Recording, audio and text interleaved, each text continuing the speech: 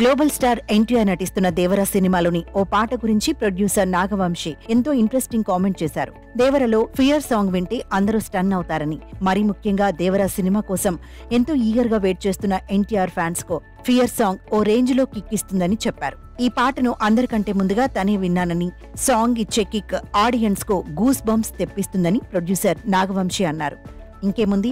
నాగవంశి చెప్పిన ఈ మాటలతో తారక్ అభిమానులు సినిమాపై మరిన్ని ఎక్స్పెక్టేషన్స్ పెట్టుకున్నారు. ఎప్పుడెప్పుడు ఆ సాంగ్ విందామా అని ఎంతో ఇంట్రెస్ట్గా వెయిట్ చేస్తున్నారు.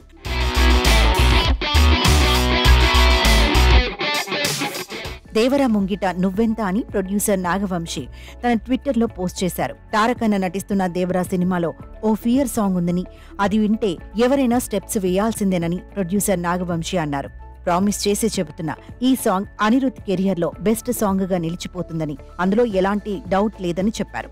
అనిరుద్ తన కెరియర్లో ఎన్నో మ్యూజికల్ సాంగ్స్ కంపోజ్ చేశాడని రీసెంట్గా తను కంపోజ్ చేసిన జైలర్ సినిమాలోని హుకుం సాంగ్ ఎంతో వైరల్ అయిందని చెప్పారు. కానీ దేవరలో అనిరుద్ కంపోజ్ చేసిన ఫియర్ సాంగ్ వింటే ప్రేక్షకులు హుకుం సాంగ్ను కూడా మర్చిపోతారని చెప్పారు.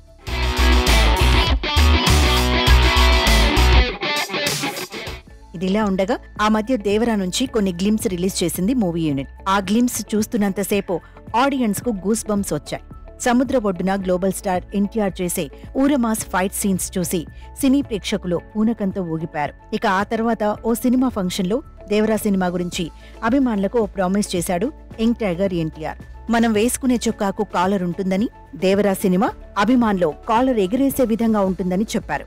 ఇక ఇప్పుడు మళ్ళీ ప్రొడ్యూసర్ నాగవంశి ట్వీట్ చేసిన పోస్ట్ దేవరపై మరింత హైప్ క్రియేట్ చేసింది. ఇలా ఎన్నో ఎక్స్పెక్టేషన్స్తో వస్తున్న కొరటాల శివ డైరెక్షన్లో తెరకెక్కుతున్న దేవరా సినిమా బాక్సాఫీస్ వద్ద ఎలాంటి మ్యాజిక్ చేస్తుందో అని సినీ లవర్స్ సోషల్ మీడియాలో కామెంట్స్ చేస్తున్నారు.